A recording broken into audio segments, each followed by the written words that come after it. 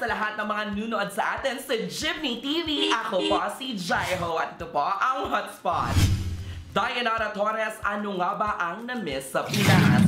Marami nga ang nakamiss sa dancing queen na si Dayanara Torres at sa kanyang pagbabalik ay masin itong ibinahagi na magiging parte siya ng Miss Universe para maging isa sa mga kurado. Kasabay nga nito na itanong sa kanya kung ano-ano ang mga na-miss nito sa Pilipinas. Heto, sabay-sabay nating panoorin, Roll VTR. Oh my god, I miss ASAP, I miss uh, Lumpia. and Lumpian, Lapu-lapu. si Sinagan na baboy.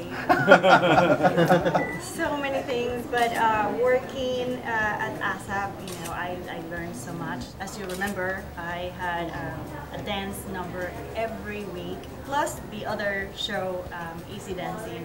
When I'm here, um, just everyone I, I had the pleasure to work with, you know, from from uh, Cesar Montano, you know, Ruby Rodriguez, um, Martin Rivera, Pops, Ariel, eh, you know, the maneuvers, the, the dancers, ah, so many people, Winnie Mariano, um, so many people.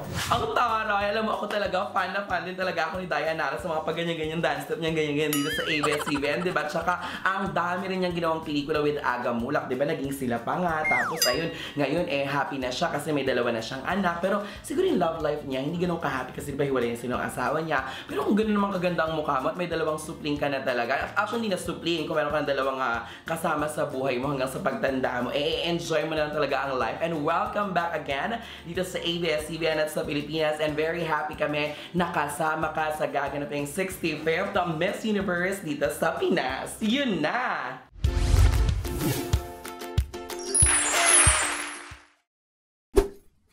Hi mga kapamilya! Mag-subscribe na kayo sa ABS-CBN Entertainment YouTube channel. At para sa more, more, more videos and more, more, more chika, click nyo na ang I button.